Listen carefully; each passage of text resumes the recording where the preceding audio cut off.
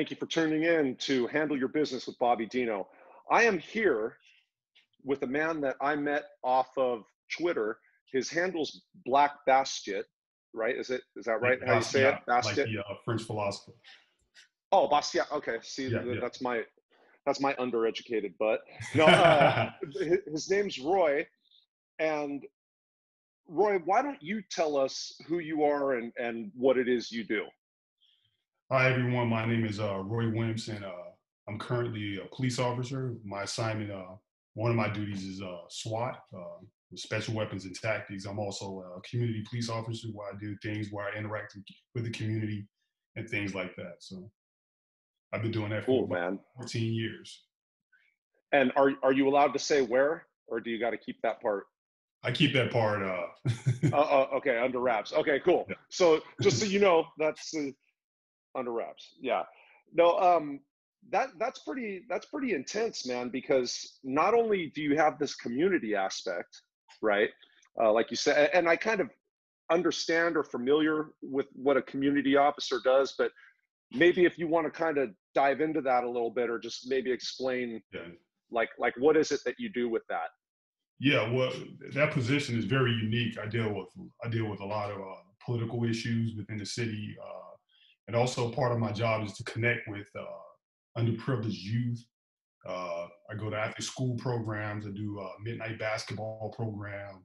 Uh, oh. I deal with community issues, things that are kind of unconventional. I work with a lot of business owners trying to help them solve problems if they have security issues, like they, how to uh, like tidy up their property to stop, you know, crime and uh, things like that.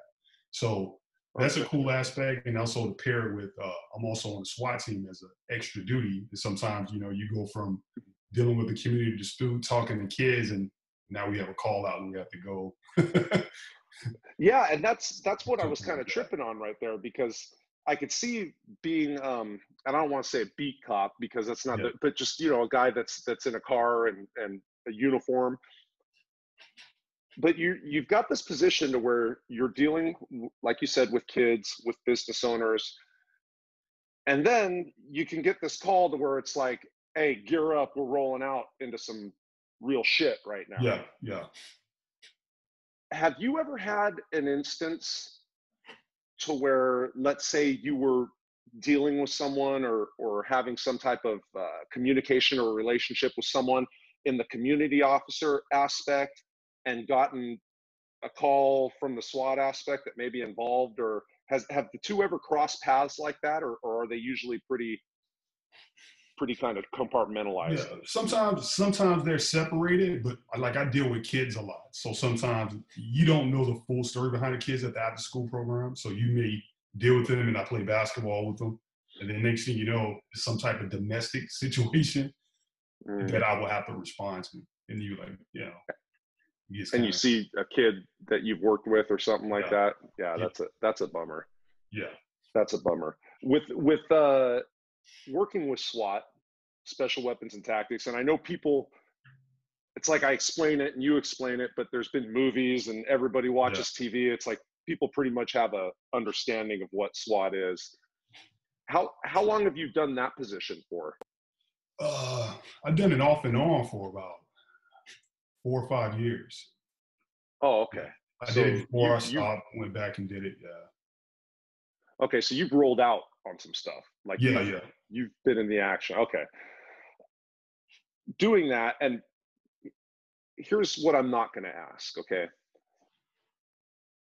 I get a lot of questions from where I come from, and I I don't think people understand that they're being rude sometimes, but they'll be like, what's the craziest shit you ever yeah. saw, dog? And it's like, and it's like, um, it's almost kind of an asshole question, you know. I mean, uh, you don't want to. You wouldn't go up to you know someone that was like the like a like a victim, you know, of a crime, and been like, hey, what was the craziest thing that you saw with it? You know, because it's it's you don't want to bring somebody back to that point, right? Yeah. So I'm not going to ask that. Thank you. but what what I what I will ask is when you go out on these calls, do they tend to be because i know that swat's not going to be called for routine stuff. The, something's already got to be happening for them to Oh, come. yeah. okay. In your experience do situations tend to resolve more peacefully when swat comes or do they tend to deteriorate and you have to act when you guys show up? Usually usually for the most part they kind of resolve themselves because we always say time is on our side. It's only rare uh, when uh, we're forced to act. And luckily I, I had for whatever reason i've never been around when it happened uh, i can't say this the area where i work we were involved in december 2nd the terror attacks at the uh, the, the county building i wasn't there but a situation like that, when you have terrorists go inside of a county building, they start blowing stuff up and shooting people. There's no time. To, you you have to just go in. And luckily for me, in the states, I haven't been in that type of uh, that type of situation. But most of the time, it's like you're surrounded around the house. We have time. You know, we have our our ways to manipulate the situation. But uh, either either way, it's dangerous. Anytime you go inside someone else's house and they know the layout, they mm. know where everything's at, and you know, no matter how much we train and the tactics we have, it's it's always you know, people can say they're not scared, but we're scared. We're just brave enough to fight through the fear and continue Right. to push because someone has to do it. That's kind of how we say it. Like, if not us, then who? That's kind of the mentality. Right. Yeah. And for the people that are watching, okay, I agree with what Roy says, and I'm pretty sure that anybody that's been through any type of stuff will tell you uh, there's fear. Mhm. There's, there's. It's not like if you're not afraid, something's wrong. yeah. That's that's uh, those are almost kind of like the people you don't want to be in a situation with. You know, uh, the ones that that don't have that fear of death, right? But when you're in a situation like that, there's no problem with being afraid and even admitting fear. Like it, the the thing that you have to do is you have to fight through it. You have to conquer your fear instead of letting fear conquer you. And when you talk about who heroes are or who the brave or great guys are, it's the people that are able to do that. Yeah. Exactly. Yeah. When when you I mean obviously you're not going to say anything bad about the crew or nothing like that. When you are involved with with uh, policing, okay, because I know that this is going to come up with with people that are watching. Oh yeah. Do you think that for the majority, the people that you're around and, and your fellow officers and all that, like that it's a good system and, and they're great people or do you have have you ever seen or, or had to deal with maybe guys that you work with that you were just like oh man i'd rather not work with this guy Oh, of course. The, the thing about police is, uh, like we're we're like any organization, especially us. We're a brotherhood, so we do Mhm. stick together. But there are people that we know who are issues. The problem is, it's really hard to get rid of us when we, when when it happens. We're we're very secure in our job, but yeah, we and we know who's who in the zoo. You know, we're like, oh, I don't Right. know this guy. That guy is cool. She's cool. She's cool. That guy I don't know about. But at, at the end of the day, we're still gonna you know protect each other, Es- especially right there in the moment. Now there may be a Oh, sure. situation when, when we go back to the locker room. If I have an issue with the way you handle things, and I'm going to confront you, whether it's dealing with uh, the public. I've done it before. You said, yeah we go through it and we get back to the locker room. Hey, dude, I don't like the way you talk to that person. Blah blah blah. And so, so it, it happens. A lot of people don't know that. You know, we're not. I'm not going to get into specifics, but yeah, we do. We Sure. do have our checks and balances where we check each other, just like any any type of organization. We're not going to do it on the streets. You know. yeah you, that's something you like you said you handle it in the locker room you handle it in private and really that's how any organization should be Mhm. uh, you don't want to be checking your fellow whether you're the boss and its employees or whether it's your partners or whatever like that it's a sign of weakness if you start arguing and getting Right. at each other in front of whoever you know that then you know that there's there's a here's the thing about cons and and for you guys that are watching pay attention. The reason why they're called convicts or one of the reasons mm-hmm. why is because they're really good at figuring out what weaknesses are. They're really good at, at figuring out what tells and which whatever. This is what i tell you guys right? So showing that weakness or showing that whatever if somebody has that manipulation, that convict in them or whatever, they'll jump on that. Yeah, They'll try and play it.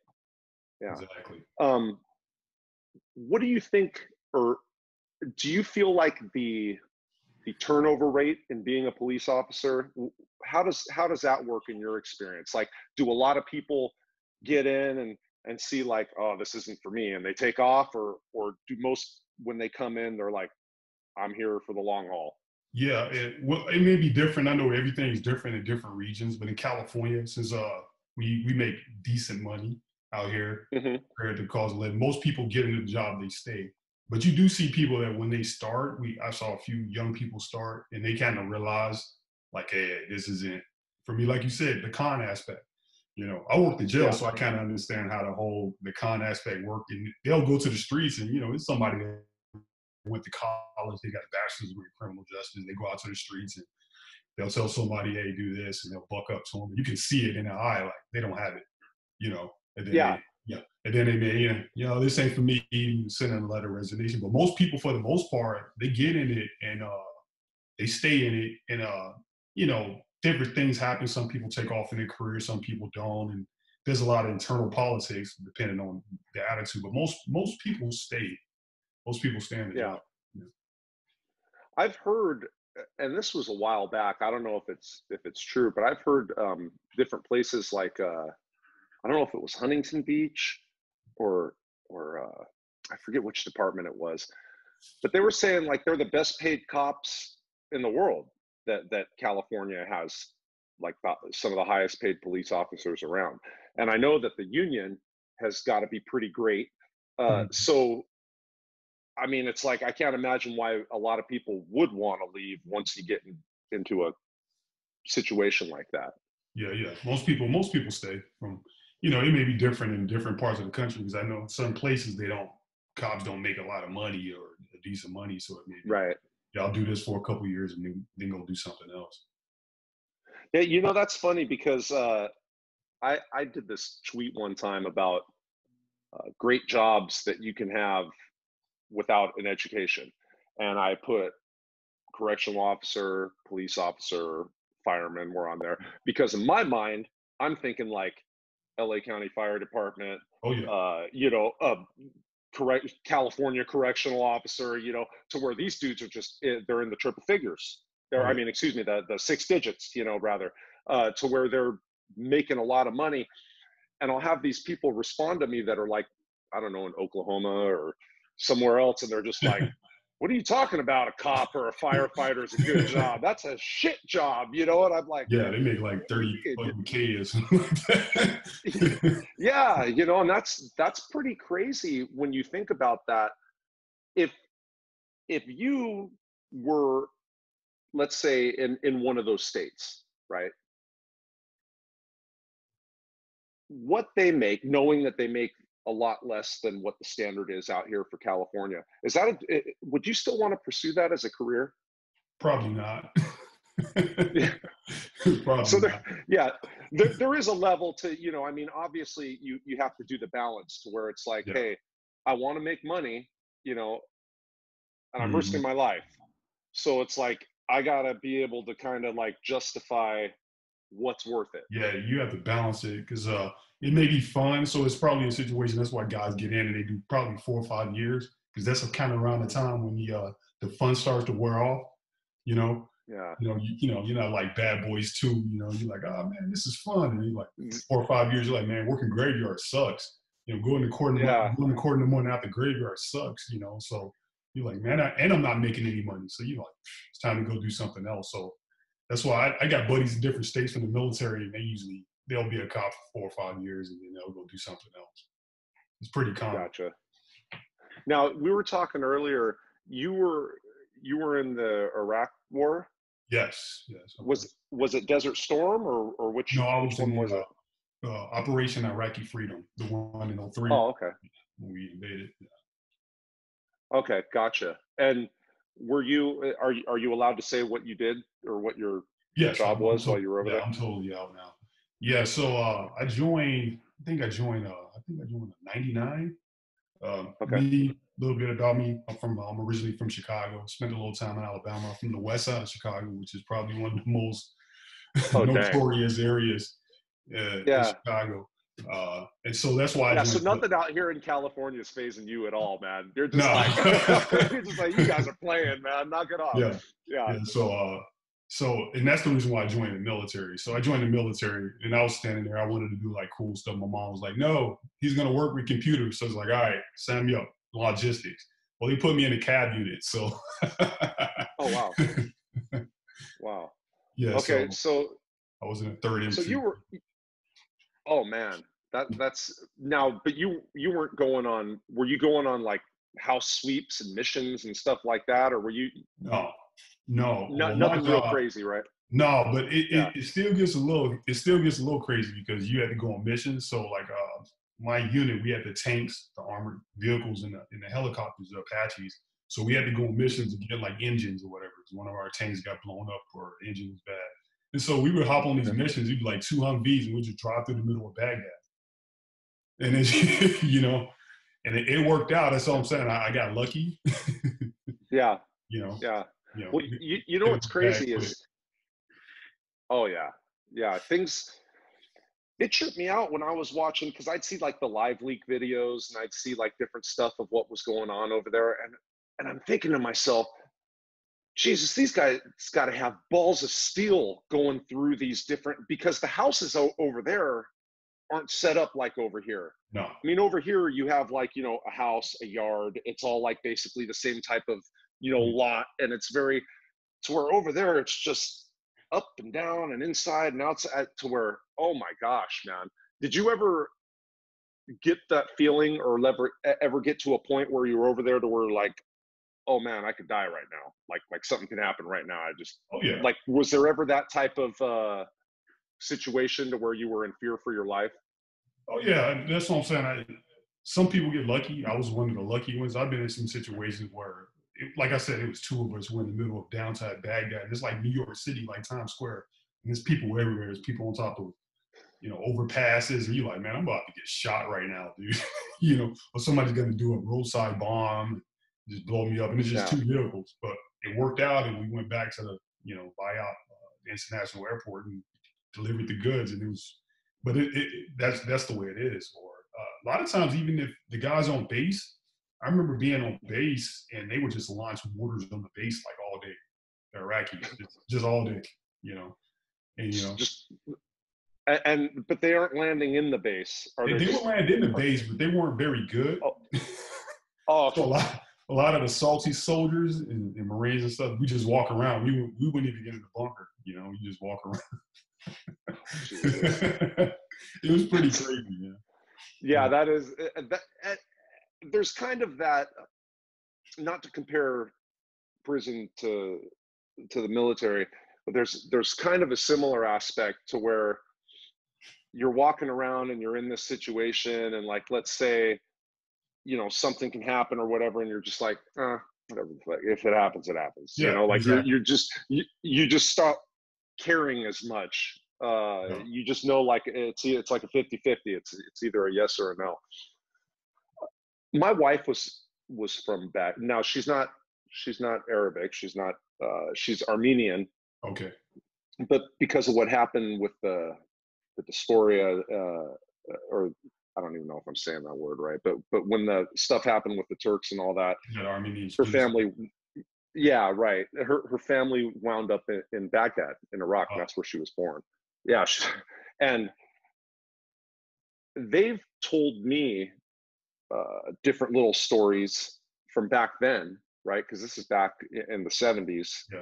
uh, to where and her older brothers and sisters you know uh, to where i'm just like oh whoa man Yeah. that's that's nuts you know do you have any of those kind of feelings or stories from when you were over there or like stuff that you saw that not not like you know bad stuff like like- but but just maybe custom type stuff or something to where you were just like oh this is some weird like it ain't like this in america like anything like that Yeah, like uh, one of them was uh, the men, like the best friends over there. The men, they hold hands. You know, for Really? yeah, for America, that's pretty that's pretty crazy. that's that's like that's one of the customs. And uh, like they'll walk down the street. Yeah, they walk down the street holding hands. That's a, that's a part of their, that's a part of their custom. You know, just just wow. different, just crazy kind of things. Like I remember, like uh, if you had your NVGs on at night, you could catch somebody maybe you know having relations with the with the mule. oh crazy, wow! Yeah, crazy stuff like that. You know. Oh wow! Yeah, I, I've heard. I heard. Uh, it was one of the things I, I think my wife told me, or my my wife's sister, but they'd say, you know how they have like the the robes or the yeah yeah the garments on. You know, I don't even know what what the right word is for those clothes, but they said they'd be standing there and and they'd like let's say one of them would have to go to the bathroom or something. They just lift up the robes and on the side of the, oh, and then they clean themselves off with their, you know, and then it's, yeah. and I'm just like, dang, man, that's that's pretty, that's pretty hardcore. I'd never heard the hand holding thing though. Yeah, that's that that's a trip, man. I never heard that. Yeah. So, how much does your experience from being in the war how how much or, or what kind of skills transferred from that into what you do now as a as a police officer? Uh that's tough. I think the biggest thing like uh when we went to went into iraq it was pretty like harsh conditions because we went in we were the first push. Mm-hmm. So you know we didn't have toilets we, we had to burn our own poop uh, you know, we weren't taking showers, we were baby wiping. The biggest thing that I got from the military is that also kind of with growing up in Chicago is they gave me this. Mm-hmm. I've been in the shit, right? I've been like in the worst living conditions you po- possibly can be in. And if I can deal right. with that and, and persevere through that, then I can push forward. So at times, you know, when I was in the police academy, you know, people were like, "Oh man, this is hard. This is hard." I was like, "Man," and I, one, you know, a couple guys in my academy got mad at me. I was like, "Man, this ain't shit." Me and a couple Marines, right you know, we were like, man, this is shit. This is easy, you know. And so that like once you've been in it, kind of kind of like you, you've been in such a you mm-hmm. were in a, a hell, right? And so once you right. go through hell and you survive, it kind of makes you, yeah, it, it scars you a little bit, but it also makes you tough because you kind of like, man, this isn't, you know. I, I tell people, yeah. I'm not digging holes in Iraq and you right. know, and shits in them, you know, burning my own poop, you know. And, and other people can't relate to that. They don't know what it's like. You know, they'll complain about anything. Oh, this sucks. This sucks. This sucks. And I'm like, no, it's not that. no, I agree. It's.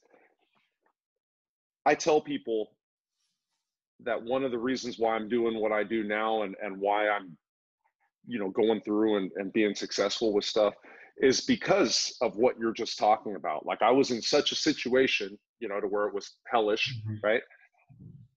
But now I'm in this free civilized world to where I can do and be whatever I want to be. Exactly. And the the the mentality of most people is like you said, it's very uh it's very easy for them to quit. It's mm-hmm. there there's not a lot of fortitude with people, exactly. uh both both mentally and physically, right? Mm-hmm. So coming from where I come from, it's like I'm just not taking no for an answer. You know, I'm just going to do my do my thing and you know nobody's standing in my way. And i credit that to a lot to what you're talking about. It's like when you've been through a certain situation i mean like it's what doesn't kill you makes you stronger. Exactly. And now you're now you're able to just to just push through. So i know you're not able to uh, similar to to a doctor with the with the HIPAA yeah. stuff. You, you, can't you don't want to name names or or be specific or or anything like that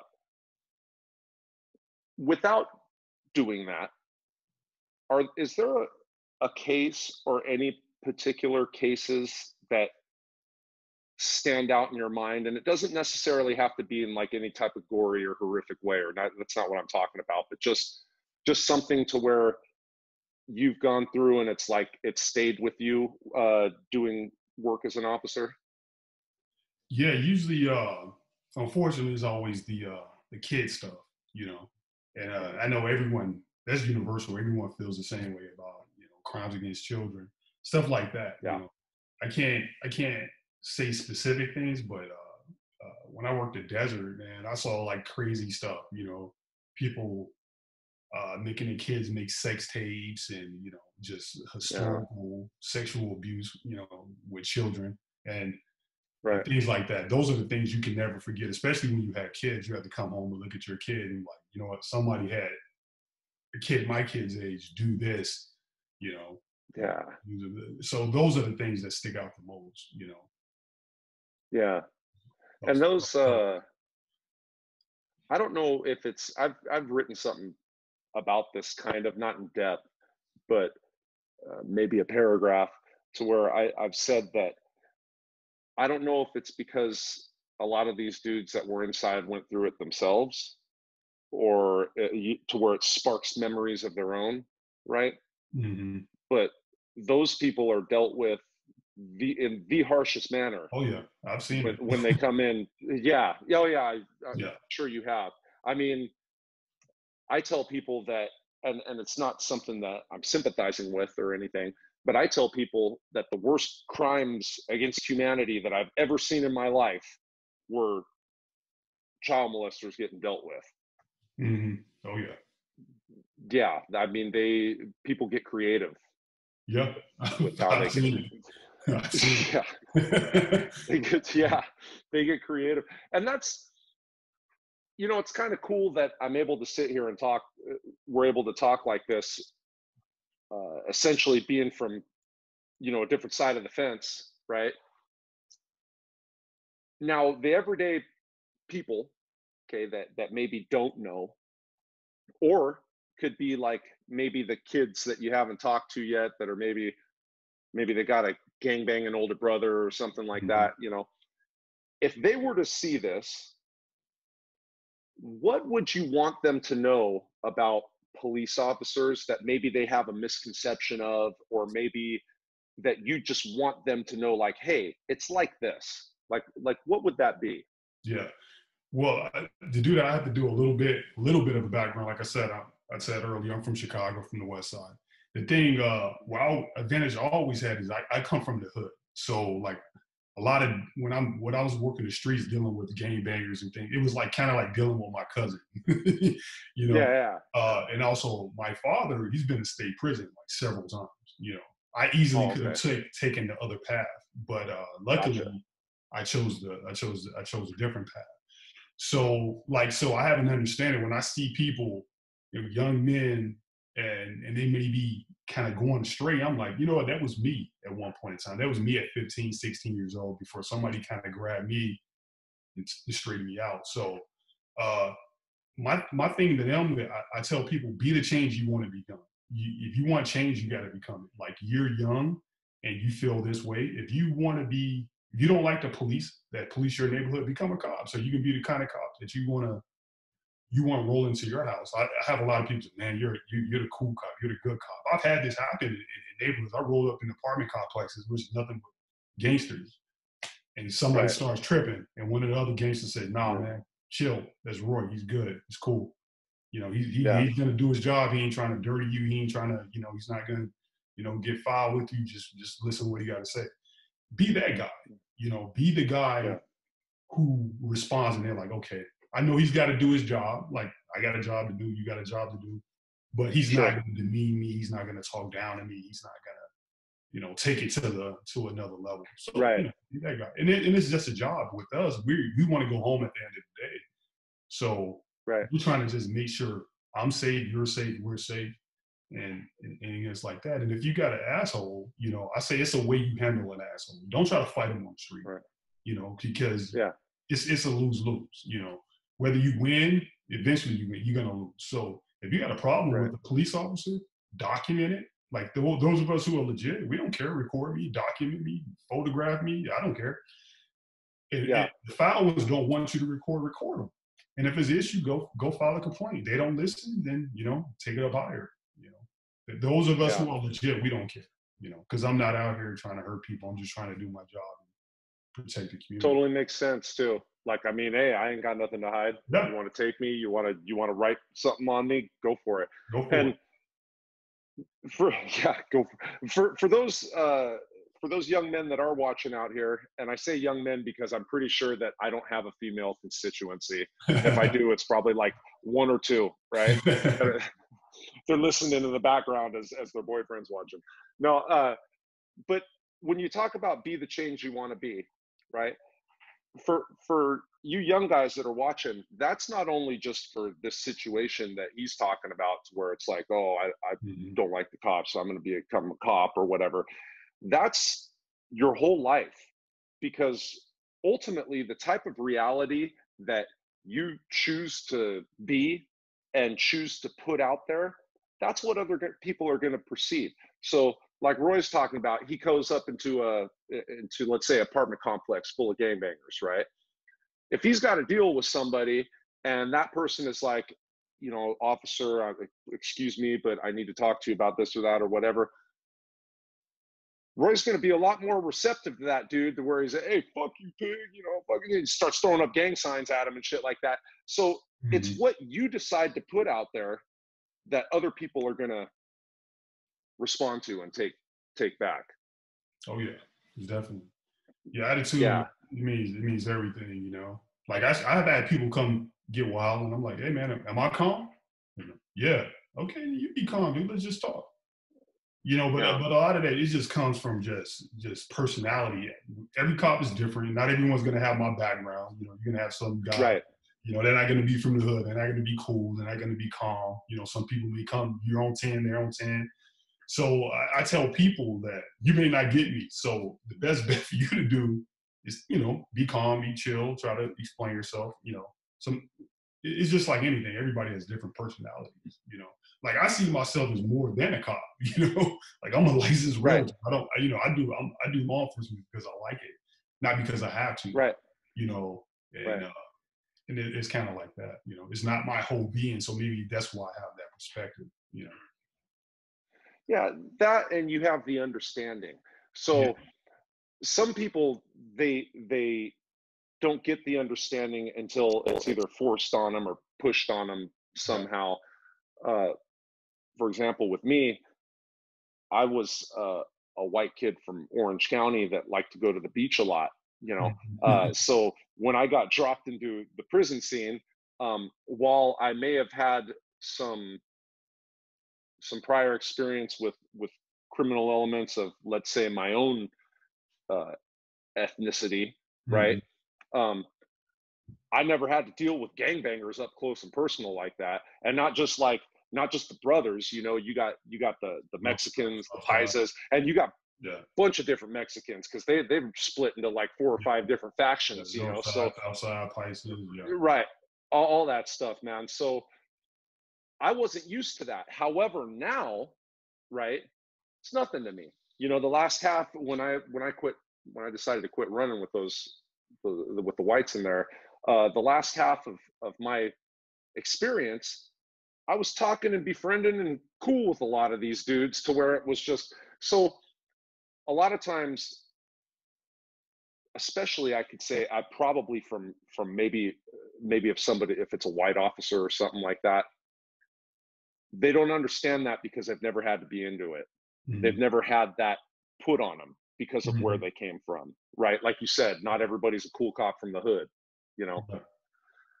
Have you have you seen instances to where i'm sure you have too to where you could tell that a certain officer maybe wasn't relating with oh yeah. either a suspect or with whatever and it was going to go bad yeah, yeah i've done that plenty of times and i'll just step in it's almost kind of like yeah. like like a Jedi mind trick. You can see it just going south, south, and I'll come in, boom, boom, boom, say this, dude, boom, everything's done. Yeah, you know that's cool. And, and it's because they, it's, it's honestly just because they and it's no, it's not a knock to them. It's just that they can't relate. You know, I think the strength I have, like I said, I can go play basketball with the kids. You used to see these kids. These are kids. It's like twelve o'clock at night on Friday. These kids are hood. They walking up. They're giving me hugs. They're giving me pounds. You know, yeah. they got my phone number. I got yeah. kids that are on probation now on my phone. number. They text me, hey, I need, oh, yeah. I need advice. Do yeah. this, do this. Uh, we we have kids that uh we got in explore programs. They were like on that fence. They get jobs. Mm-hmm. So it's you have to actually care about people. And you know how it is. People are real. They can feel if you're real enough. You know, if you care for them. You know, when I talk to these kids, I'm speaking like like you said about opening up. The biggest thing that probably progress I made in my career is when I opened up. I used to hide the fact that I was from the hood, the, you know, my gangsters are my family, and I easily could have. Right. I used to, you know, no, no, I was in the military. And I was like, you know what, dude? I'm gonna open up to these kids. I start talking to these kids, and you should see their face, and they're like, man, you don't know what it's like. And I'm like from the west side of Chicago. I'm from Austin. Go Google yeah. Austin right now. They lead the lead Chicago in murders. My neighborhood where I grew up. That's where I grew up. Yeah.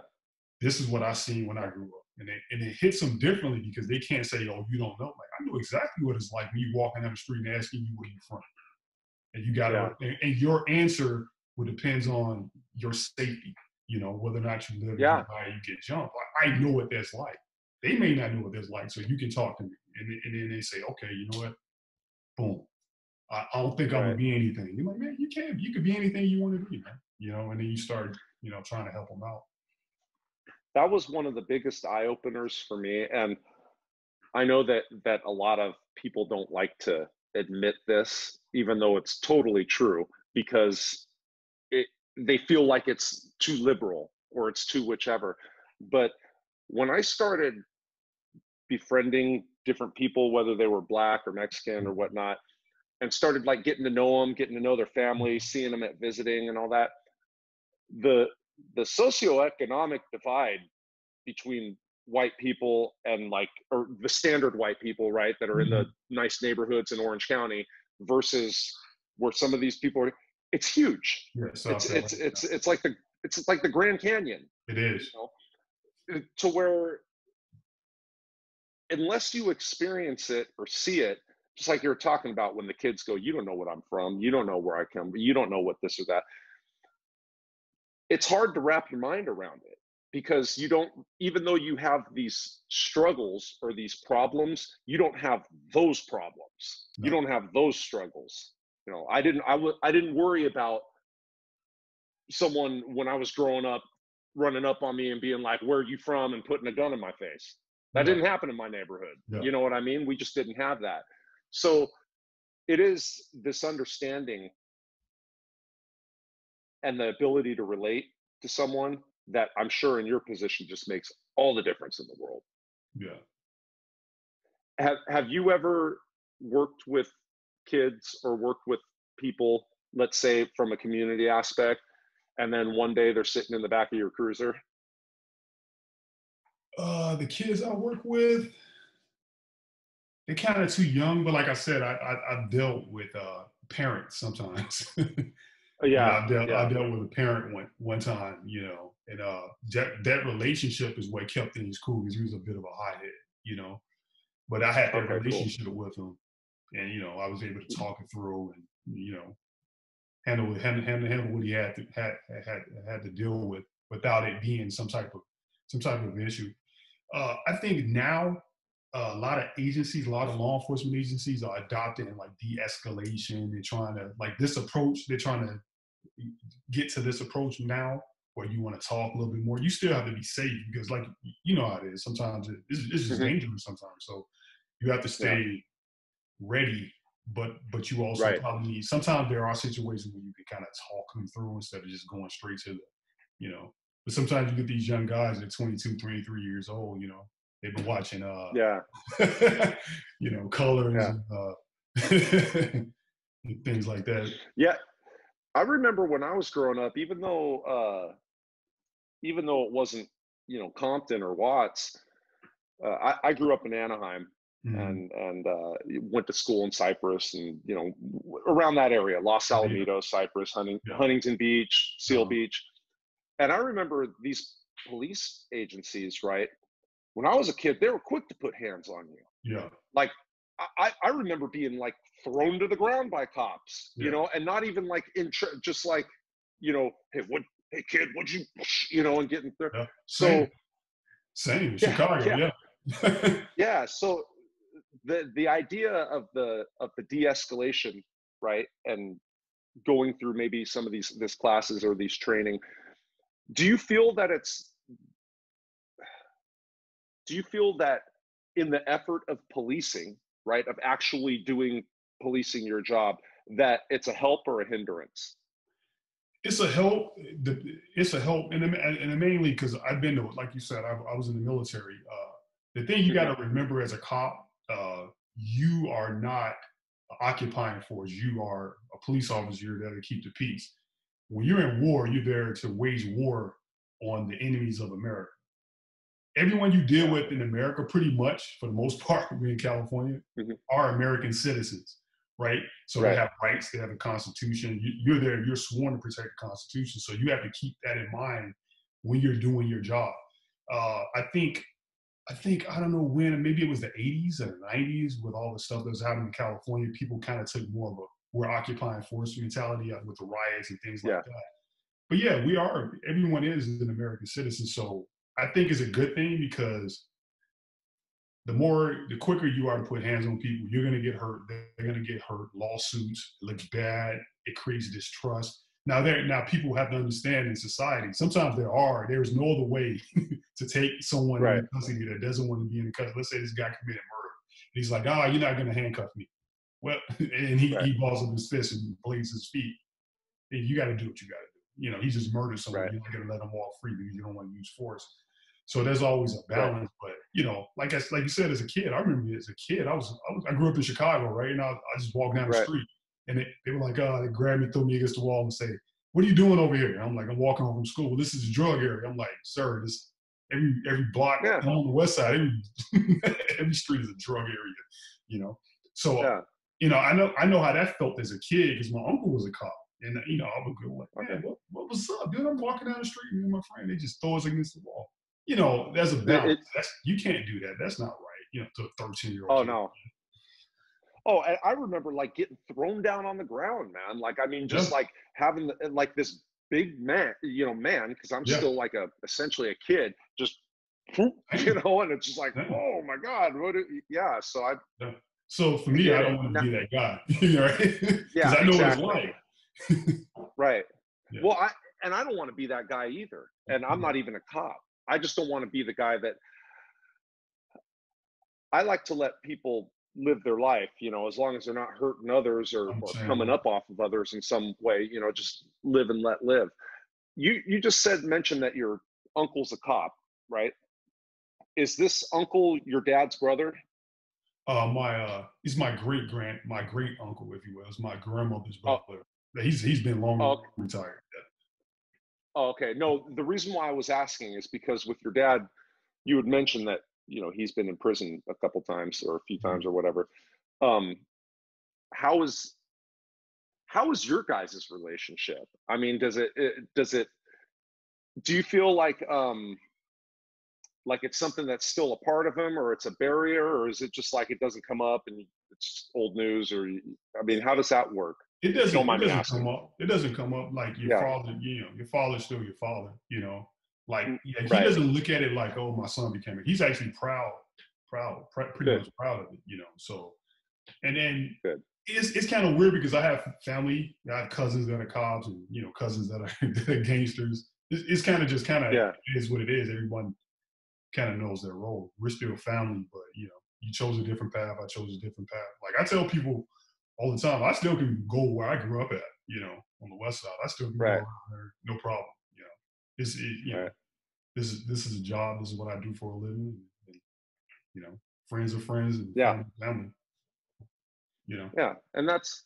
I mean, that makes sense. The reason why why I ask, and obviously, and I say this, eh, I think that the profession of a police officer is an honorable. I think it's probably one of the most honorable ones. It's like being like one of the knights of old, you know, like yeah. you're you're you're sworn to protect the people. I've always thought that from a kid, and even though I've been to the joint, I still feel like that. Believe it or not, I mean I do. The thing that messes it up is some of the guys that are wearing the badge. It's yeah. not it's not the the deal of you know being a cop uh, or, or or the, the the job so to speak.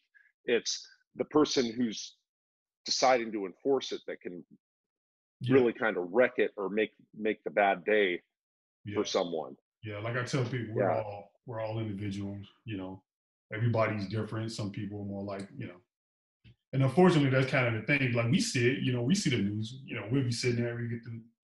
Did you see this? Did you see what this guy in Oklahoma did? You know, now I got to go out and you know explain why he did this. And you see the guys in Florida did, like, what were they thinking? You know, now we have to go out and, and, and that's the thing with our job is that it can be somebody mm-hmm. on another side in a different country in a, in a different Right. region that does something stupid, right? And then guess who's getting the heat for it? Right. We are, and, and it's crazy that we're like the one of the only professions where where it happens like that. You know, if a journalist does something, you know, it's just on that journalist. With us, you know, we have to answer for the sins of like every person Right. who wore the uniform Right. that comes with the territory. You know, You know, it's almost similar. Uh, I did this this interview with uh, with Abu American. I, I don't know if you're familiar with who, Uh, he, uh, who he yeah. is in there. Okay, cool. So we talked about religion, about faith. Yeah. We talked about Islam and Christianity, and it's almost kind of similar to what we were talking about. You have these radicals in Islam, you know, that are Mhm. doing the suicide blow up thing. And then in I'm I'm Catholic, so in in Catholicism, you got these priests that are doing bad things with kids, and Mhm. it's like like you're saying, you have to answer for the sins. It's like, well, you're a Catholic, you're part of that, you know, kitty raping, Exactly. blah blah blah blah blah blah, and you're just like, oh my god, man, you know, it's like uh, same kind of deal almost to where it's you're being held accountable for the sins of people you've never even met in your life. Yeah, yeah. Yeah, And that's it- some of it's understandable because uh, we hold. You're a police, like you said, you're like a knight. You're a police officer. You can do. You have so much corporal authority, and you, you know to to do things. So when someone breaches that trust, it it, it, Yeah. sours the entire profession. You know, we have access to people's public information. We can carry guns everywhere. We're the only people Yeah. that can have like fully automatic weapons. So when you see cops, like I think I saw an incident in uh, Florida where these guys came out and they were just spraying like maniacs, right? And I'm like, and I'm watching it, and I'm like, this is horrible. But that's now that's yeah, something. yeah. There were there were police that were Yeah. doing that. Yeah, wow. probably Oh, wow. technically we're the only people that got the fully auto. So now I'm already looking for like, okay, now we're going to be under scrutiny uh, for having automatic weapons, like uh, the tactical teams, and we don't. You're not even supposed to really use it. Like if you use an automatic weapon, you're like it's like doomsday. you shouldn't be, you know, Yeah. you know, using. But they did it. They're on tape, and now I'm like, okay, now that's something else. I'm gonna have to. people gonna, you know, my cousin gonna text me. Did you see what happened in Florida? Did you see? You know, Yeah, it's one of those Yeah. deals. it never stops. That's crazy, man. Never stops. If yeah, and it doesn't. I mean, one of the things that one of the things that I remember from from being on the inside, right, was there's a huge distrust factor coming from both ends. Mhm. right so so the the cops thought that all the cons were pieces of lying pieces of shit you know i mean that's just what it was right and the cons thought that all the cops were lying pieces of shit that were going to try and get them twisted up right? We already talked about how you're received pretty well with your community and with what you do. Do you still see maybe not so much with you but but maybe even with your fellow officers or whatever do you see a lot of distrust towards the police still or is it more is it less or should, should i say i mean do you see what's the level that you see there i mean it, do people generally tend to uh, be forward and kind of whatever or is there do you feel like the climate right now in california is like there's a lot of distrust against the cops Well, it like law enforcement is like just like anything. It's real local. Where I currently work, Mhm. I'm not going to say exactly where I work, but we have a Mhm. pretty good relationship with our community because because of guys like me and the stuff that we do. We do a lot of stuff for the community. It's a rich area and it's kind of a poor area, but we do a lot of activity in the poor area. We give a lot of toys away. We you know we do a lot of community events. Uh, in some areas, uh, maybe where it's rougher, probably like places like Compton, San Bernardino, you know, the, Yeah. where the officers are like, they so inundated with calls. They want to call, call, call, call, call, call. They don't have that time and opportunity to stop and uh, interact with the community. So a lot of times that's what it is, is that the officers come to work, you know, they, they log on and the screen is just loaded. It's like 100 calls, you know.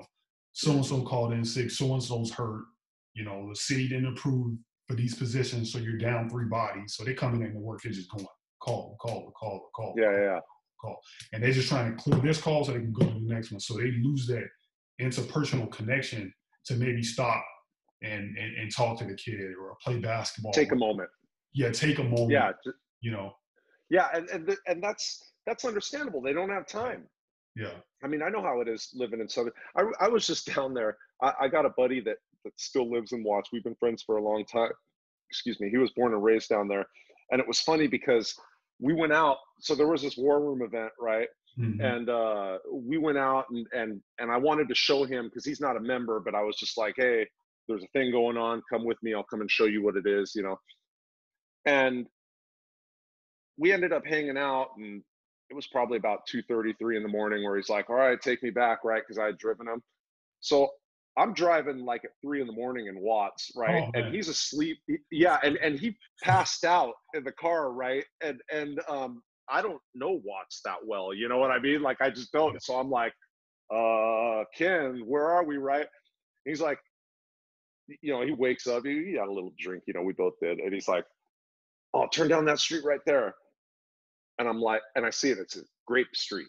And I'm like, I go, is that the Grape Street? And he's like, yep, don't look at anyone. And I was like, word, you know, and I'm just, like, through, you know, because it's like, I know how those, I, I grew up with that. Like when I was a kid, and I t- I've told this to Ken too, like they would tell, like if you were being a white kid or whatever, it was known like, do not go to Watts. Yeah. Do not go to Compton you know like just don't do it you're gonna you're gonna be in trouble dangerous yeah yeah, yeah uh, you're gonna be in trouble down there if you do so i can understand about not getting that time to to connect and and to i mean it's just got to be crazy sometimes man yeah i think that's i think if uh if if, if the local whatever local cities uh, that are having issues we don't have we don't have a lot of issues where we where I work because we connect with the community.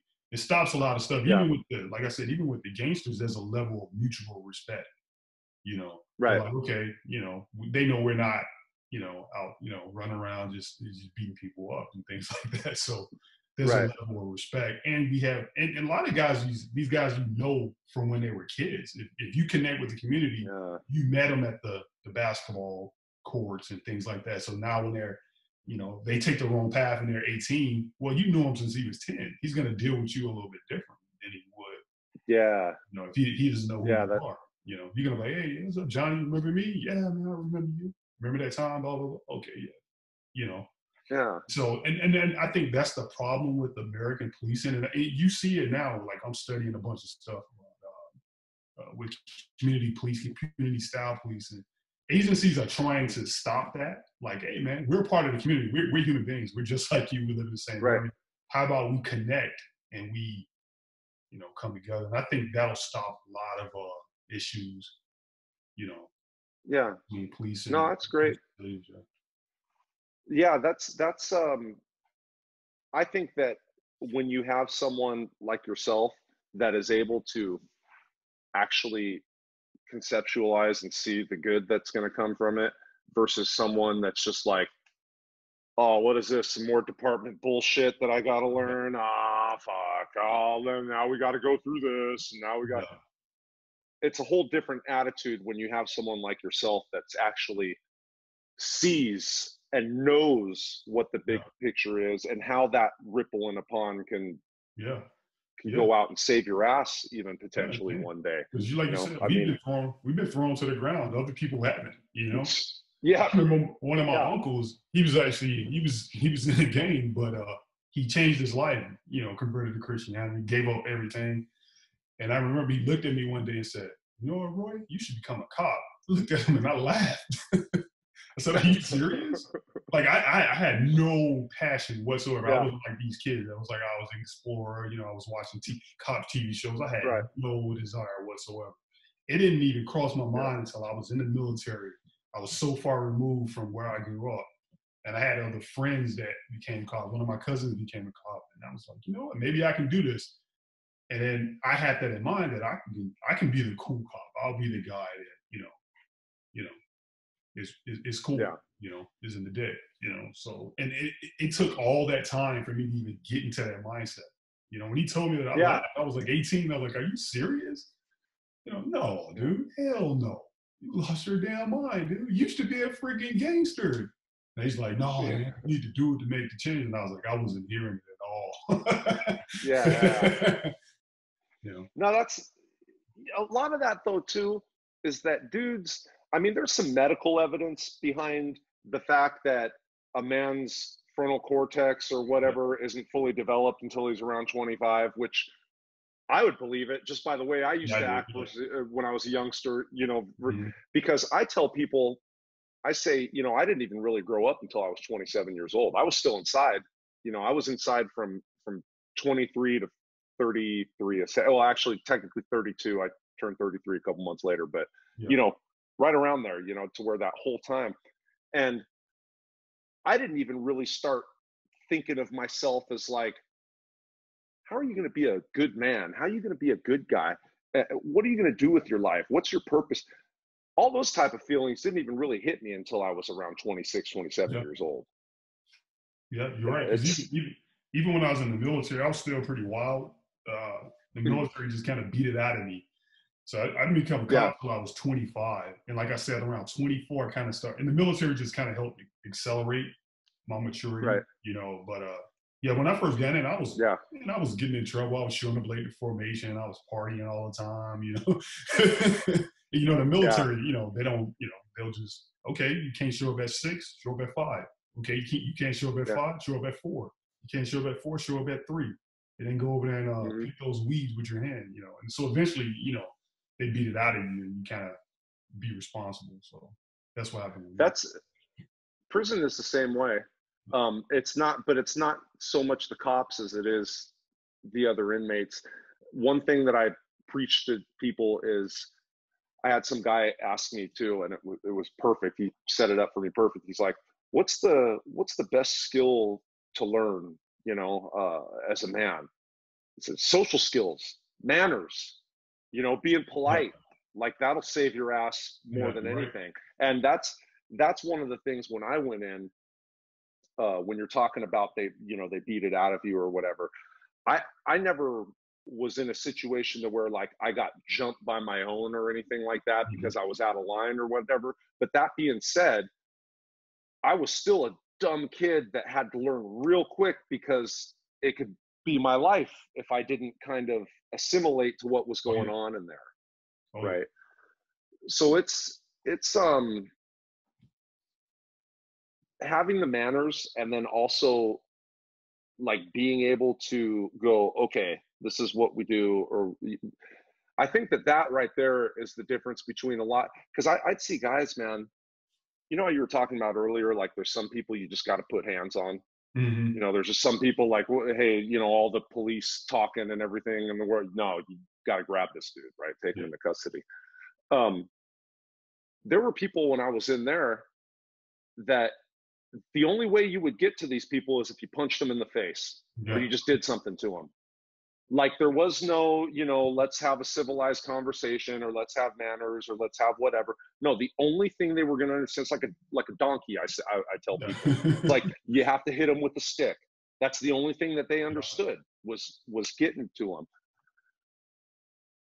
how often does that happen? More uh, less often than not or or when you have interactions with the community you kind of talked about earlier how you are right but how you are and how other people are aren't always necessarily the same yeah. Is that less how often do you deal with someone to where you're just like oh With my god man we're gonna have to do something to this With guy me, it's, it's lesser. I've been doing this for 14 years. Like I said, I got I got a little bit more Oh, wow. experience. Yeah.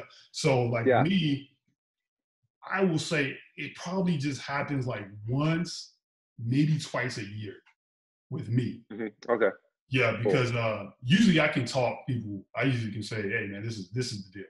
Sometimes it may just Mhm. be cool. Sometimes I may have to do it a little bit more aggressively. Like I'm going to tell you this is what I'm going to do if you don't do what I Right. do. Uh, And, and also too, it's like sometimes little stuff you can you got to let slide. You know, you you can't get too Yeah. caught up in your ego. That's the biggest thing. You can't have an ego. So I don't Mhm. have an ego. So little stuff, I'm like, you know what? I'm not gonna trip off that dude. Just you good. Right. And then when something does happen, you can talk to people, and you usually can get your way. You know, it, it's kind of like like uh, I'm like I'm I'm six two with my boots on, right? I'm a little bit taller. Yeah. I weigh about two twenty five. I got all this gear. You know, you can right. tell I'm a vet. Like you know, you've been you've been in the joint. You know who, who the fish are, right? And you know who the right. guys yeah. have been around the block. I'm the guy that right. oh yeah. Yeah. So I'm exactly, like, yeah. this is what I need you to do. Most people are yeah. like, okay, dude, I'm this dude. I'm not gonna play games with. And then you just come across that one guy, whether it's drugs, where he's just tweaked out of his mind, or he's right. he's just uh, he's just nuts. And there's nothing you can do mm-hmm. but do that. You know, I came across a guy like that. I can't say exactly where, but he was just tweaked out of his mind. I tried to reason with him. I tried to be calm, and he was like, "No, let's fight." And so, yeah. and so, you know, you just got to do what you got to do. But that's that rare situation because for the most part, me, I'm not trying to fight. Like I've been doing this for too long. You know, I'm, I'm not trying to break my hand, hurt my wrist. So for the most part with me, I'm not trying to fight you. I'm just like, hey man, check this out. Yeah. You got a warrant. It's big enough for me to take you yeah. in. If it wasn't big enough, it was like five thousand dollars. I'll just give you a new court date. I don't care, dude. But it's this. Right. I got to take you in. Don't make it hard. You cool? Yeah. You know, most people are like, you know? You cool. Hey, can you take this bag yeah. over to my girlfriend's house? Sure, I do that, dude. What else you need me to do? You need some yeah. numbers you need to write down. So there's a there's yeah. a game. Hey, you mind if I smoke a cigarette? Okay, dude. Let's pull over here. You know, so it's a lot of give and take in that respect. People will respect. They're right. like, okay, I know I got. I ain't got. I ain't make the warrant. The warrant is there. I got. You got to take care of it, man. But this is the deal. Right. We're gonna make it easy for you. We're gonna take you here. We're gonna take you back over to your girl. You know, we're gonna let you write down your telephone numbers. Here's a cigarette. You know what what radio station yeah. you listen to. You know, and, and that stuff goes a long way. And other people know that they won't. You know, it's cool. You know.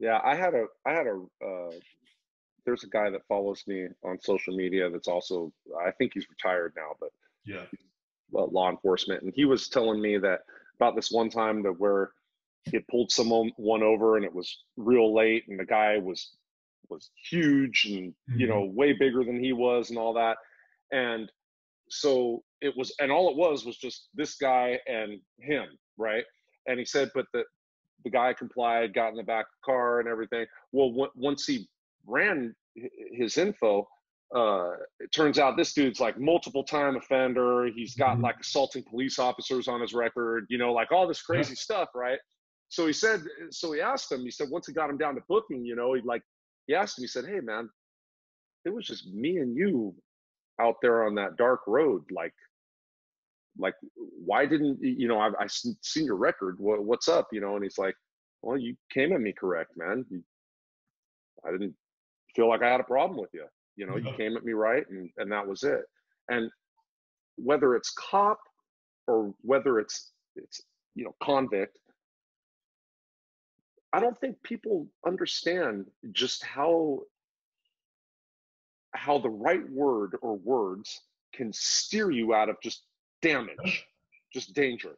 Yeah, it does. Respect respect goes the one. I tell people the the the, the, goes, the biggest tool that a police officer has isn't his gun, bulletproof vest, taser. It's his mouth.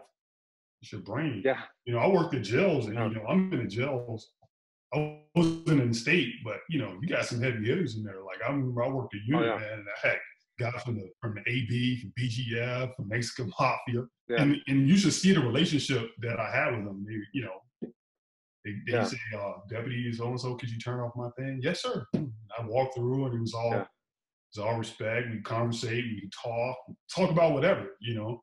And it was just a it's right. a respect thing. And I know you've been locked up, so respect is big respect yeah. is big. You know, it's behind like the, the biggest. like you working in the jail yeah. cell. This this me and this like 20 inmates, you know, they're on quarter tier. So it's like, you know, 16 guys, like, you know, so I'm walking in the dorm room with myself, you know, and but they have respect because I show them respect. Even when I had to search a cell, like I would search a cell like Mr. So and so, can I search a cell? They know damn well I had every right to search that cell, but I would ask them anyway. Right. And they respected right. the fact that I asked them because I didn't pop the cell. Open your cell, motherfucker. I'm going to search it. You know, yeah. they know I can search yeah. your cell. Hey, Mr. Mr. Johnson, I'm going to have you step outside. I'm going to search your cell. And I'm not even going to trash it. Like, I would try to leave it yeah. cool. I'm like, this is oh, their oh, house. this is their house. You knew there, Yeah. there were there were COs there were COs when I was in there, man, and they not only would they trash it, right, like just like Yeah, I know. just being thrown everywhere, but then you see their boot marks all over everything. So like the the the bed that you're supposed to sleep on that night, like the, the Mhm. sheets just got all their Yeah. boot marks on it, and you're just like, oh, you- Yeah, but see, know. when I worked, nothing happened in my units, right? If yeah, somebody got jumped, it wasn't on my watch. Yeah. no, that's good. Yeah, they were they were keeping it off of you. Yeah, that's Yeah. that's keep keep the paperwork off you. Did you? I, I don't know if you're going to be able to answer this, but I, I'm only asking because I saw this when I was upstate. yeah. You ever see, uh, like like an officer? You ever see? Okay, for example, you seen that movie End of Watch? Yeah, yeah. I don't know. You know, there's that scene where the cops like, oh, you want, you know, because the guy's telling him, hey, I'll fuck you up right now, and the cop's like, oh, you want to get down? And he takes off his belt, and he's like, let's handle this. You know, you ever see anything like that in real life? Like, like Uh, ever? Yeah, yeah. Yeah. Okay. I mean, I because because I I saw that when I was upstate, and and and that that was a thing that that tripped me out. You know, because I'm like. Man, this just seems like it could be trouble so many different ways. Yeah, and like for the be. dude, yeah and and for the dude uh for for the the, the inmate or the convict or whatever uh it's a it's like a lose lose yeah, it is. you know like you like you, you get beat up by the cop and if you win you know you're getting more charges or you're getting whatever you know to where But you can get in trouble right as a cop too. If they found out that you Oh, yeah. You took off your uniform, you challenged somebody to a fight, you can yeah, you can get oh i'm, I'm sure you can. Yeah i mean that it's Yeah. yeah but it's it's um well here's here's what and, and i i know that we've been we've been talking a long time it's been over an hour already and i won't take up too much more. Um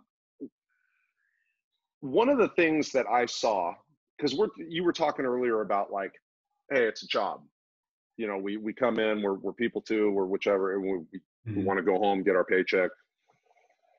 There were COs like that too. There were, you know, to where you knew it was just like, oh, it's a job, right? But then there were COs that like really thought they were playing the game. Like they get like they knew who the heavy hitters were and they'd like have the talk like, hey yo, homie, uh do do do do do do do or like they they thought like they were playing like some some like halfway gangster game. You you know what I mean? Uh you you get those or you- had experience with I, that too? I, I, yeah, I've had I've had experience. It mainly is uh either either you may get somebody like that's really from the hood, and so they just they still kind of got that swagger about them, and then you got some who think they know the game. I've seen guys do that, and I kind of chuckle because I'm really Yeah. from the hood, and you know, so Right. I'm just like, okay, you know, yeah because i used to i used to have like uh, well i mean not a lot but it in the beginning like i had uh cos hit me up about like hey man there's this dude that we don't like do, do, do, do, take care of him and we'll Oh, give you a tv or you know take care oh yeah. Oh wow, oh yeah like trying to like like telling me straight up and then like when i'd be like nah i'm good you know because i'm not gonna no, do their dirty work and then get a charge on top of it you know what i mean? Because they ain't gonna like you know if something happens they're not gonna no, be, they you go, know, oh, good towards me. No. yeah we didn't know nothing so um but but yeah that that happened a, a few times man to where there was it was like they they thought that they were somehow man i've seen cos i shit you not dude you know how how they have the homemade guns in there the inmates you know Yeah. they they they usually and for Yeah. those of you that are watching this is how it goes down they take apart like a like an old cassette tape Mhm. or something like that and there's a motor in there okay um you you take the motor put it sideways and you make from a pen uh the kind the, the barrel essentially. You get a guitar string uh usually it's the big e guitar string and you unwind it to get that core metal that's in there because apparently that's the best size needle. And they just attach that thing you got now you put batteries on it and you've got a tattoo gun. So for all you that don't know how they do it in prison i just explained it to you okay? There's there's how you make a tattoo gun. But i've seen uh cos getting tatted by fucking inmates. That's crazy. totally crazy man. I've seen I, I saw a female co getting tatted by inmates too. And i'm thinking to myself like really? You feel that comfortable right now huh because like in reality you know there's a lot of convicts around there to where like they may not be saying nothing or but in their mind they're just like fuck you you know like like i don't want this dude here or, or you know they got bad feelings right? But i've seen it to where it's like they feel like there's so so much in the game man like i've seen them getting tatted and shit Oh, that's like crazy. crazy yeah Crazy. That's crazy. it's crazy man no, it is, man. I mean, even like thinking back on it, like they, they would do different stuff like that, you know, and, and they they get at you a a and then like the the cool ones, the smart ones, they'll refer to you by like your last name. A lot of them will, will call you Mister or Sir. The, those are the ones that you know have worked the higher levels and have respect. When they walk up, they've got like their hands behind their back or at their Mhm. side, you know, like they're they give you that space, you know, and Yeah. you could tell like, oh, this dude's been on a level four, like he Oh yeah, you can. Yeah, you can tell because I worked in a job. yeah, The guys are level four. They walk up to you, hey, yo, do so, Mr. Williamson, blah, blah, you know, and all that. Yeah. So yeah, you can tell. yeah, yeah. uh, But but these these other guys, man, like that that stuff would would definitely trip me out, and and uh, it's a fine line, you know. People they they want to um, experience kind of like that both deal, and it's almost the mentality it seems that you have to have being a cop versus being a criminal. It's very similar. Yeah, I was going to touch on that. Uh, they they have studies where they say where the cop and the criminal mindset is, is very it's, it's kind of similar. Uh, one of one of the guys I like to read, his name uh, you may have heard of him. His name is uh, Lieutenant Lieutenant Colonel Dave Grossman. He's a retired Army guy. He wrote he wrote this book called On Killing. He described the uh, the the kind of the three categories. He said there are sheep. These are the normal people in society who who don't don't hurt people. They just go to work, pay taxes they're sheepdog, those are the police officers and, and soldiers. They have the capacity for violence, but use that capacity of violence to protect people.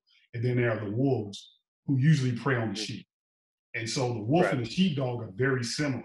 So we both have the ability Right. to, you know, to, to do harm to other people. And, and we can separate that from just from anything else. Sheep can't hurt people.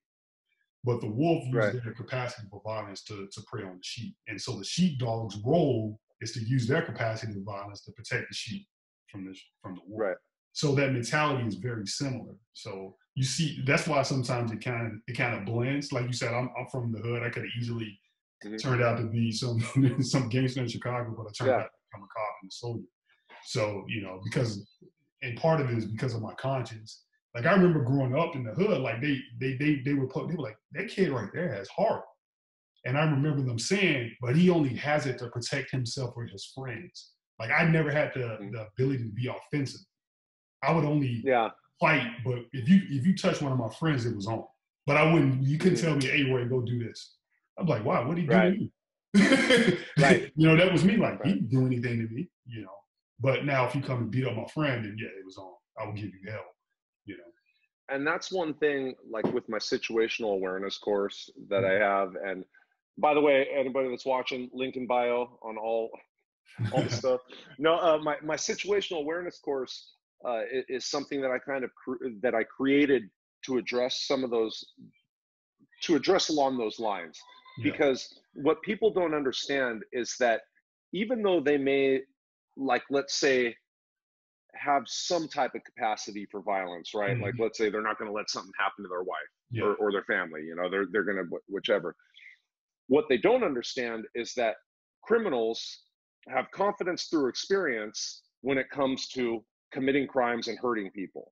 So those are the people that can walk right up on you and just punch you upside your head and like keep doing it while you're just trying to figure out what the hell's going on because you're a sheep. You know Yeah, what i mean? Like you don't even know what's happening and, and you're already just getting the crap kicked out of you right? So the situational awareness in, in that I- mean i as a cop i can only imagine uh, you know it's it's on 10 all the time. Mhm. um, but that's a, what a lot of people don't understand Yeah. when it comes to like the criminal mindset is that these guys don't have a problem hurting you No, no. It, it like know, uh, I- I remember I was talking. I was working in jails, and I'm talking to a young guy, and I'm like, "What you in for, man?" We just talking. You know, he's a worker. "Oh, I'm in for stealing a car. So you know, you know, you build rapport, and he, you know, you tell him, you like, dude, what the hell, dude? What the hell you stole a car for? You're like 19 years old. He's like, well, man, I was walking down the street and these people just left their car running. So I just hopped in it and I drove to Fresno. you know? so you got some soccer mom, you know, like I'll see my neighbors like, why are you leaving your car running with the, you know, with, with Yeah. the key to the ignition? Well, this is a nice neighborhood. And I'm like, it doesn't matter. What do you think they come steal? Yeah. You don't have an alarm? Right. Do you have cameras? You know, do you have lights on? Do you have the neighbors come checking? Why are you didn't tell me you were out of town? You know, it's all that stuff like while I'm thinking, they're not thinking, you know, why is Yeah. your person in front passenger seat? You know, well, this is Right. a nice area. Okay. All it takes is some fool to walk by, smash, grab, you know, your purse is gone, Yeah. all your credit cards are gone, they sold it on the black market, they stole your identity, you know. All that. Yeah. all that. Just like that. It's and and the capacity for for these people to do it is just it- it's easy. It's it's oh there he there he is. Is that your boy? That's okay. I see you.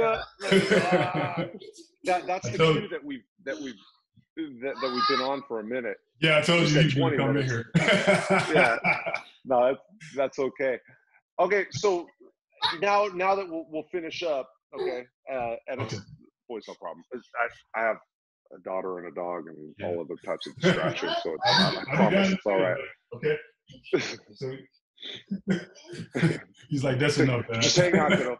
Okay, so so in closing, and I ask, I like to ask this with a lot of different guests, but I think in your situation and, and in your profession, this is something that maybe has a little bit more poignancy.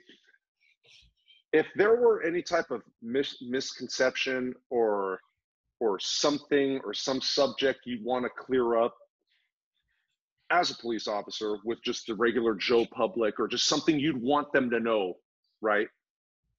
What would it be? Uh, about police officers is that uh, the vast majority, I mean, like 99% of people that get into Hold I'm so Hey. dizzy. He's all good. uh, He's, he's all good. yeah, he's a, uh, that they they want to do the right thing, regardless of how you know if the job sours them later on down the road, they become better or whatever. When they start this job, they want to do the right thing. When people like like in the academy, they like being the law enforcement of ethics, true blue, deep down in their heart, they want to do something good and, and and have a positive influence. You know, sometimes along the way, you know, life happens, you get bitter about the job, things like that, politics they can't do that job. Like, you know, we're right now, we're in California right now. The laws in California are just like horrible.